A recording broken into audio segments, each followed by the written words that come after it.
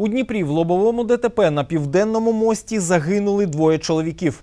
Удар був настільки потужним, що тіла мерців довелося вирізати з понівеченого салону.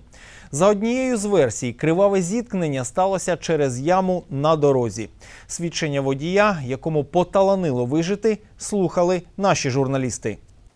Обличчя Юрія розбите, але він дякує Богові, що залишився живий. По обіді п'ятниці чоловік потрапив у моторошну ДТП. В його мікроавтобус на шаленій швидкості влетів легковик чеського автопрому. Все сталося на південному мості через річку Дніпро. Шкода ехала в правом ряду, он резко крутнул руль, как перестраиваться влево. Его- Он не справился с управлением, и его ну, стало нести мне навстречу. И я вижу, что я уже затормозить не успею, попытался только уйти правее, но не успел.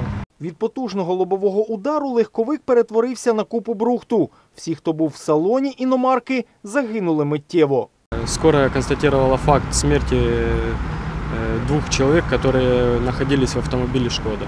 Водію було 33 роки, пасажиру 26. З понівеченого салону мерців вирізали надзвичайники.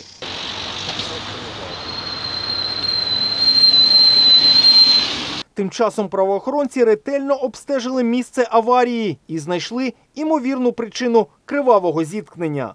По предварительной информации, это автомобиль «Шкоды» попал в яму, не справился с управлением и э, выехал уже на встречное движение. За фактом загибелі двох людей відкрили кримінальне провадження. Чи був у крові призвідника ДТП алкоголь або інші заборонені речовини, стане відомо після оприлюднення результатів розтину.